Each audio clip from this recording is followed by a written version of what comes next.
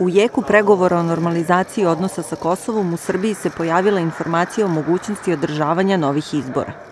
Ja ne verujem da će Vučić da dozvoli da SPS ode u opoziciju. Dakle, mislim da će ipak da se nađe tu nekakvo rešenje da oni i dalje ostanu u ovom zajedničkom, u, u, u, zajedno u vlasti praktično, ali kažem opet, sad je tu trka koja od njih vešti i kako će SPS da proceni svoje šanse, ali i, i Vučićeve šanse u budućnosti.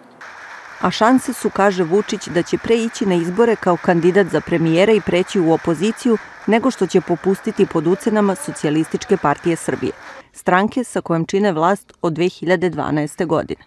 Brani me taman kao i moji koalicijoni partneri.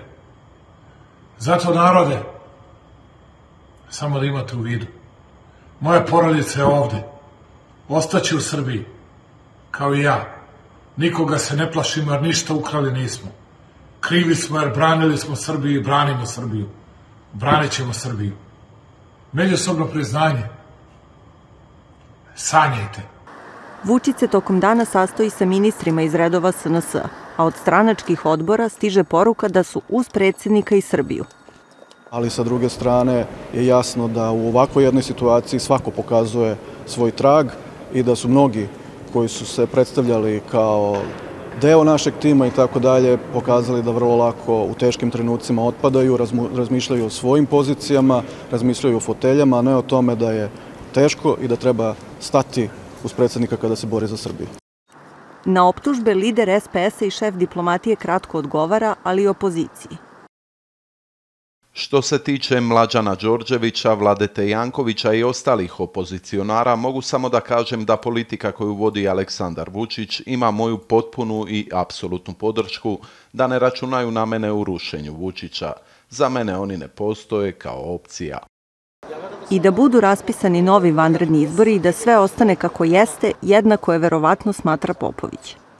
Postoji verovatnoća da će on raspisati izbore ako ne bude mogao dovoljno dobro da manevriše sa zapadnim zemljama, sa međunarodnom zajednicom oko plana za Kosovo i tako dalje. U tom slučaju mu odgovaraju izbori da malo još sebi kupi vremena, a opet kažem sa druge strane, pošto su sledeće godine lokalni izbori i dosta je težak taj politički manevar da skrati svim lokalnim samoupravama mandate, ja verujem da bi mu odgovaralo da ih ipak spoji. Savezništvo SNS i SPS-a uprkos neslaganjima traje bez prekida od 2012. godine. Za to vreme Srbija imala šest izbornih godina i to tri puta vanredne parlamentarne i jedne vanredne predsedničke izbore. Bojana Stojanović, Al Jazeera, Beograd.